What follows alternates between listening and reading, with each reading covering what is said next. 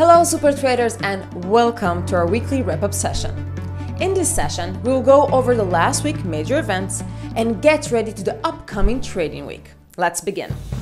Starting with the US market. US stocks continue to decline since last week European Central Bank announcement they will start their quantitative easing plan by buying 60 billion euros a month of bond buying through September 2016 to revive inflation in the eurozone. The S&P 500 index declined 13.25 points and its current value is 2043.25. The US dollar continued its climb since the European Central Bank announcement, strengthening mainly versus the euro. The dollar rose 1% during last week's trading week and its current value is 95.33. Last week major economic events in the New York sessions the Canadian stocks continued to rise, copying the biggest weekly advance in a month, as the Bank of Canada unexpectedly cut interest rates on January 21, joining a stimulative push with other central banks around the world. Since the Canadian Central Bank announcement, the Canadian dollar is depreciating, the loonie fell 0.45% and its current value is 0.8044.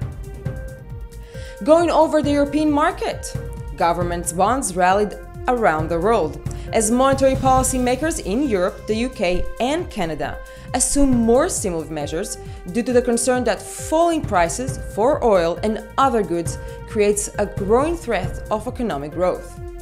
The ECB announcement that buying government bonds at worth of 60 billion euros a month caused a jump in the European stocks. The Euro Stoxx 50 rose 59.90 points and its current value is 3,382.55. The 19 Asian currency, the euro, fell versus 27 of its 31 major peers, posted its biggest weekly drop in three years. The euro fell 1.53% and its current value is 1.1209. In the UK, at last week MPC official bank rate votes, two of the Bank of England's policymakers pushing for an interest rate increase dropped their call last month in favor of maintaining the interest rate at its current value, as inflation risks are falling below zero in the UK. The FTSE 100 rose 36.20 points and its current value is 6,832.83. The British pound fell 0.2% last week and its current value is 1.3981.